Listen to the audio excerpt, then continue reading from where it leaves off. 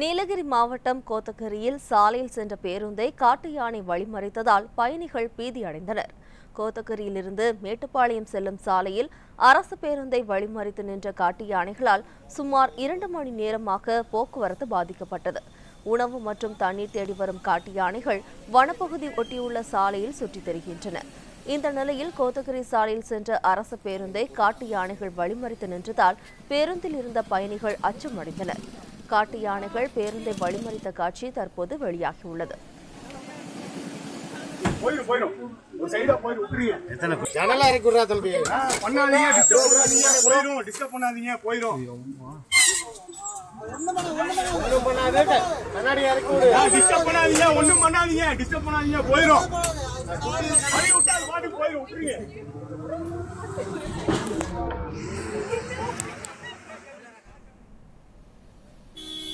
இதனிடையே யானைகள் சாலைகளை வழிமறித்து இருப்பதால் வாகன ஓட்டிகள் கடும் சிரமத்திற்கு ஆளாகியுள்ளனர் சாலையில் செல்லும்போது யானைகளை புகைப்படம் எடுப்பதையும் சாலையோரங்களில் வாகனங்களை நிறுத்துவதை தவிர்க்குமாறும் வனத்துறையினர் எச்சரிக்கை விடுத்துள்ளனர்.